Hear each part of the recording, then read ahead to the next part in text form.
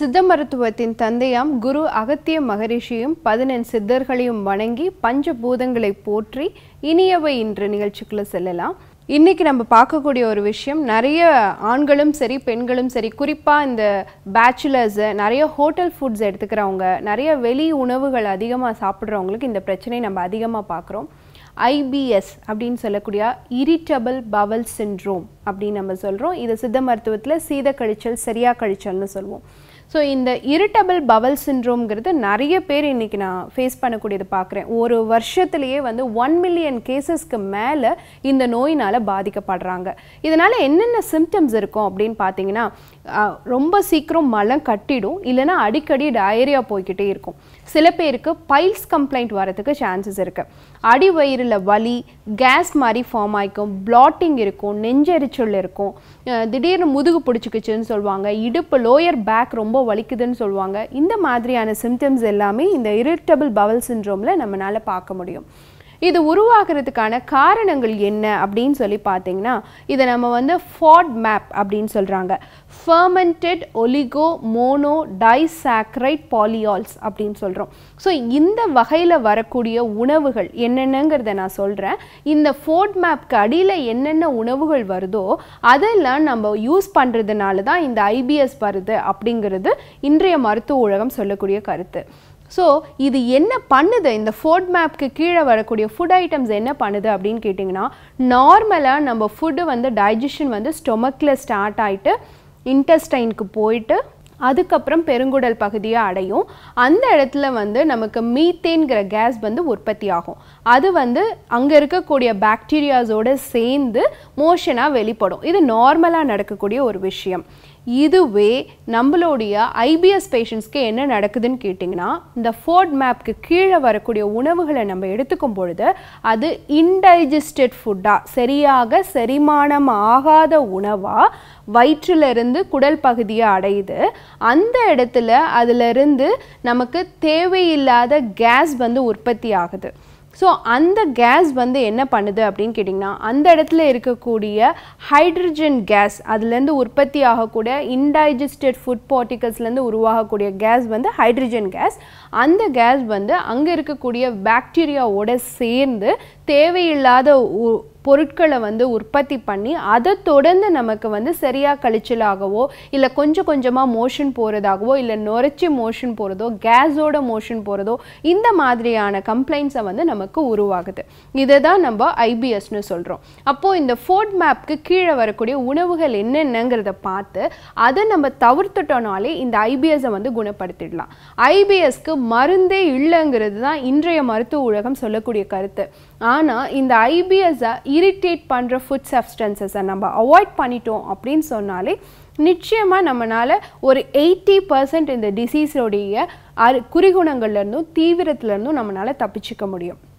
அப்படி என்ன உணவுகள் அப்படின்னு சொல்லி கேட்டிங்கன்னா சுக்ரோஸ் ஸ்வீட்ஸ் அதிகமாக இருக்கக்கூடிய உணவுகளை நம்ம எடுத்துக்கக்கூடாது.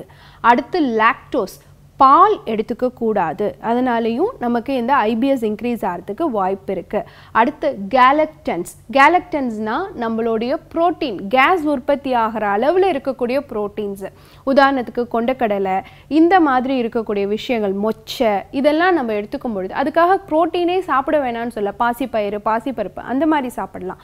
கொண்டக்கடலை மொச்சை அவரை துவரை இதெல்லாம் எடுக்கும் பொழுது என்ன ஆகுதுன்னு கேட்டிங்கன்னா இந்த ஐபிஎஸ் சிம்டம்ஸ் வந்து உருவாகிறதுக்கான சான்சஸ் இருக்குது அடுத்து புரோட்டீனில் முக்கியமானது வந்து பாலியால்ஸ்னு சொல்கிறது இந்த பாலியால்ஸுங்கிறது என்ன அப்படின்னு சொல்லி கேட்டிங்கன்னா நம்ம எடுத்துக்கக்கூடிய உணவில் சார்பிட்டால்னு சொல்லிட்டு ஆர்டிஃபிஷியல் ஸ்வீட்னஸ் சில இதுலலாம் மிக்ஸ் பண்ணியிருப்பாங்க அந்த மாதிரி உணவுகள் எடுத்துக்கிட்டோம் இரிட்டேட் பண்ணும். ஸோ நம்ம வந்து நிறைய ஃபாஸ்ட் ஃபுட் ஷாப்ஸ்க்கெலாம் போகிறோம் இல்லையா?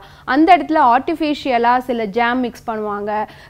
சில இது சாஸ் மிக்ஸ் பண்ணுவாங்க. ஸோ இதில் இருந்தெல்லாம் அது உற்பத்தி ஆகிட்டு அதுவும் நமக்கு ஐபிஎஸ்ஸை உருவாகிறதுக்கு இந்த இரிட்டபிள் பவல் சின்ரோம்னு சொல்லக்கூடிய மோஷன் ப்ராப்ளத்தை உருவாக்குறதுக்கான வாய்ப்புகள் இருக்குது அடுத்து ஃப்ரக்டோஸ் ஃப்ரக்டோஸுங்கிறது வந்து நம்மளுடைய ஃப்ரூட்ஸில் இருக்கக்கூடிய சுகர் இதுவும் கூட நம்ம அளவுக்கு அதிகமாக எடுத்துக்கும் பொழுது இந்த ஐபிஎஸ் கம்ப்ளைண்ட் வந்து அதிகமாகிறத நம்மளால் பா பார்க்க முடியுது. அடுத்து ஃப்ரக்டன்ஸ் ஃப்ரக்டன்ஸுங்கிறது வந்து வீட் பார்லி இதில் இருக்கக்கூடிய அந்த க்ளூட்டன் சப்ஸ்டன்சஸ்னால கோதுமையிலிருந்து வரக்கூடிய அந்த க்ளூட்டன்னால் நமக்கு இந்த ஐபிஎஸ் லெவல் இன்க்ரீஸ் ஆகுது. இந்த இரிட்டபிலிட்டி அதிகமாகுது அப்படின்னு சொல்லி மருத்துவ உலகம் சொல்கிறாங்க ஸோ இந்த கேட்டகரி கேட்டகரைசேஷனில் வரக்கூடிய உணவுகளை நீங்கள் தவிர்த்துட்டாலே இந்த சரியாக கழிச்சல் பிரச்சனையிலேருந்து உங்களால் உங்களை நீங்கள் பாதுகாத்துக்க முடியும். இதை தாண்டி எங்களுக்கு வந்துருச்சு டாக்டர். அப்போ நாங்கள் என்ன பண்ணுறது அப்படின்னு சொல்லி கேட்டிங்கன்னா ஃபர்ஸ்ட் உங்கள் ஜீரண மண்டலத்தை சீர்படுத்தக்கூடிய கார்மினேட்டிவ் சப்ஸ்டன்சஸை நம்ம எடுத்துக்கணும். கார்மினேட்டிவ்னா என்னன்னு கேட்டிங்கன்னா காரத்தன்மை அல்க்ளைன் ஃபுட்ஸ் ஏன்னா இந்த ஐபிஎஸ்ல வந்து நம்ம குடலில் வந்து அசிடிக் நேச்சர் அதிகமாக உருவாயிடும். அதை கண்ட்ரோல் பண்ணுறதுக்கு அல்க்ளைன் ஃபுட்ஸ் நம்ம எடுத்துக்கணும். அல்க்ளைன் ஃபுட்ஸ்னால் என்ன அப்படின்னு சொல்லிட்டிங்கன்னா சுண்டை வற்றல். இது நிச்சயமாக நல்ல ஒரு அல்க்ளைன் ஃபுட்டு இந்த சுண்டை வற்றல் சூரணத்தை வந்து நீங்கள் நார்மலாக வத்தலாக வாங்கிட்டு லைட்டாக வெறும் வானலியில் வறுத்து அதை பொடி பண்ணி வச்சுட்டு வெந்நீரில் சாப்பிட்றதுக்கு முன்னாடி ஒரு அரை ஸ்பூனோ ஒரு ஸ்பூனோ வெந்நீரில் கலந்து குடிச்சிட்டு வந்தீங்கனாலும் இந்த ஐபிஎஸ் கம்ப்ளைண்ட்லேருந்து உங்களை நீங்கள் சரி பண்ணிக்க முடியும். இல்லை வத்தலாகவே நீங்கள் மோர் சாதத்தோடு சேர்த்து சாப்பிட்டு வந்தீங்கனாலும் கண்டிப்பாக உங்களுக்கு இந்த ஐபிஎஸ் கம்ப்ளைண்ட் கொஞ்சம் கண்ட்ரோல் ஆகும். சித்த மருத்துவத்தில் சுண்டை வற்றல் சூரணம்னே கிடைக்குது. அது கூட இன்னும் கொஞ்சம் மருந்துகள்லாம் சேர்த்துருப்பாங்க. மாங்காய் இருக்கு இல்லைங்களா? அதனுடைய கொட்டையுடைய பொடி மாம்பருப்பு பொடின்னு சொல்லுவோம். அது எல்லாமும் அதில் சேர்த்துருப்பாங்க. ஸோ இன்னும் இந்த கம்ப்ளைண்ட் வந்து உங்களுக்கு குறையறதுக்கு வாய்ப்பு இருக்குது இல்லை நிறைய டயரியா போயிட்டே இருக்குது அப்படிங்கிறவங்க வந்து தயிர்ச்சுண்டி சூரணம்னு சித்த மருத்துவத்தில் இருக்குது அதை நீங்கள் பிரயோகிச்சுட்டு வந்தாலும் உங்களுக்கு இந்த டயரியா கம்ப்ளைண்ட் வந்து அரெஸ்ட் ஆகிறதுக்கு வாய்ப்பு இருக்குது இன்னும் நீங்கள் டைஜஷனை நல்லா ப்ரொமோட் பண்ணி நல்ல அந்த என்சைம்ஸ் நம்ம கர்ப்ப நம்மளுடைய அந்த குடலில் சுரக்க வேண்டிய என்சைம்ஸ் நல்ல லெவலில் செக்ரீட் பண்ணுறதுக்கு புதினா டீ நார்மலாக புதினா லீவ்ஸ் ஒரு கைப்பிடி அளவு எடுத்து தண்ணியில் போட்டு கொதிக்க வச்சுட்டு கருப்பட்டி சேர்த்து அந்த டீ மாதிரி நீங்கள் காலையில் ஒருத்தரோ சாயந்தரம் ஒருத்தரோ குடிச்சிட்டு வந்தீங்கனாலே உங்கள் குடலில் இருந்து உங்கள் வயிற்று பகுதியிலேருந்து உங்கள் பெருகுடல் வரைக்கும் சுரக்க வேண்டிய என்சைம்ஸோட லெவல் வந்து நல்லபடியாக சுரக்கும். தேவையான குட் பாக்டீரியாஸ் கட்ஸில் இருக்கக்கூடிய குட் பாக்டீரியாஸும் ஆக்டிவாக பெர்ஃபார்ம் பண்ணும்.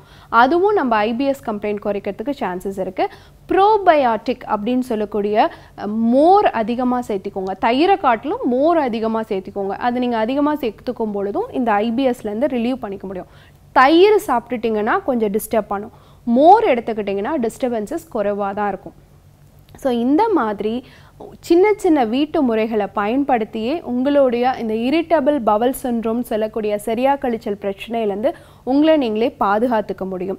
அதை தாண்டி பிரச்சனை அதிகமாக இருக்குது ரொம்ப வயிறு பிளாட்டிங்காக இருக்குது அடிக்கடி மோஷன் போகிற மாதிரி இருக்குது சீக்கிரம் கான்ஸ்டிபேட் ஆகிடுது அதனால் வந்து பைல்ஸ் கம்ப்ளைண்ட் வந்துருச்சுங்கிறவங்க தகுந்த சித்த மருத்துவரை நாடினீங்க அப்படின்னு சொன்னால் நிச்சயமாக இதுக்கான அருமருந்துகள் சித்த மருத்துவத்தில் இருக்குது அதை பயன்படுத்தி உங்களை நீங்களே குணப்படுத்திக்க முடியும். இதே மாதிரி இன்னொரு நிகழ்ச்சியில் சந்திக்கிறேன். நன்றி வணக்கம்.